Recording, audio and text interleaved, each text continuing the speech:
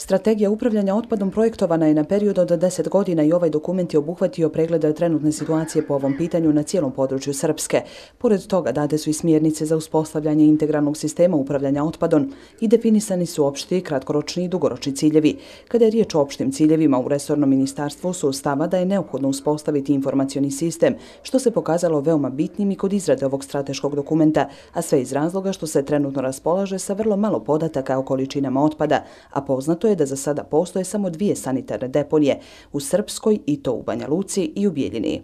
Što se tiče uh, inače situacije u upravljanju otpadom, u Republici Srpskoj je poznato da pored ove dvije deponije znači ne postoji više uh, sanitarnih deponija, da sve jedinice lokalne samouprave imaju problem sa upravljanjem otpadom, da se veoma mali procenat otpada odvaja, a to je ono što je polazna osnova za uspostavljanje integralnog sistema za upravljanje otpadom. Analize su kod izrade ove strategije pokazale da se čak manje od 2% otpada odvaja. Strategijom je predviđeno smanjenje količine otpada već u njegovom nastanku, te da se u svim jedinicama lokalne samouprave uspostavi odvajanje otpada na mjestu nastanka. Prilikom izrade strategije kao nedostatak se pokazala i pokrivenost uslugom sakupljanja otpada, pa se tako i došlo do podatka da je oko 60 do 65 odsto stanovništva pokriveno organizovanim sakupljanjem otpada. Znači da u narednom periodu e, jedinice lokalne samouprave i komunalna preduzeća moraju da uspostave, odnosno da povećaju taj procenat, da prošire pokrivenost sakupljanja otpadom.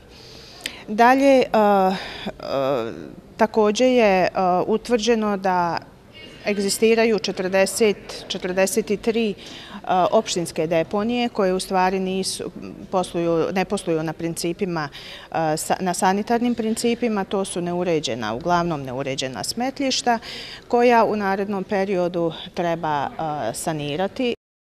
U odjeljenju komunalne policije kažu da je na osnovu zakona još 2013. godine Skupština grada Bijeljena donijela odluku o odvozu i deponovanju komunalnog otpada, te da su na području grada za ovaj posao zadužene dvije firme, AD Komunalac i Dule Trans iz Dvorova, napominjući da onim licima koja se ogluše o svoju obavezu da se prijave i da plaćaju odvoz komunalnog otpada, slijedi izricanje prekršajnih naloga u iznosu od 400 maraka. Na području gdje vrši Dule transodos komunalnog otpada, je uvedeno negdje oko 35% domaćinstava, tako da je na tom području i primjetno više divljih deponija. Evo ja sam radio analizu sa 15. martom, pošto je sad u narednom mjesecu, april mjesec čistoće, e, ima tačno 51 deponija na području grada Bijeljne, prije svega 100 na seoskim domaćinstvima.